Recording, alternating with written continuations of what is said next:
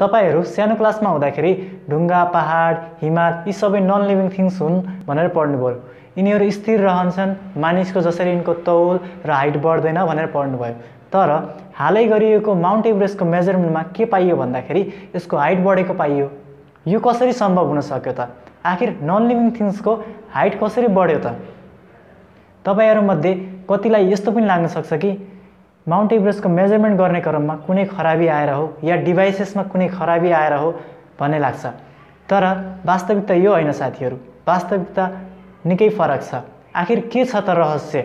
जसको कारणले गर्दाखेरि माउन्ट एभरेस्टको हाइट बढ्यो। आउनुहोस् जानौँ आज यो भिडियोमा।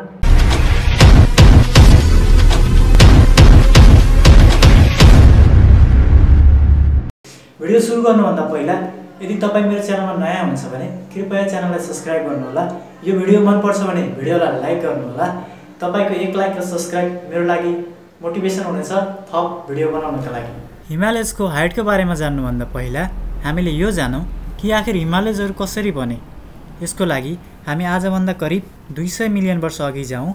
जति बेला पेन्गिया महादेव टुक्रिन थालेको थियो त्यहाँबाट इन्डियन प्लेट छुट्टिएर उत्तर दिशातर्फ निकै रफ्तारका साथ अगाडि बढ्यो र अन्तत युरोसिया प्लेटसँग ठोकिन पुग्यो।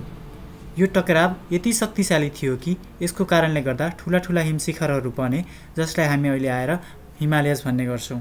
त साथीहरू अब जानौँ सगरमाथाको उचाइ बढ्नुको रहस्य पछाडि।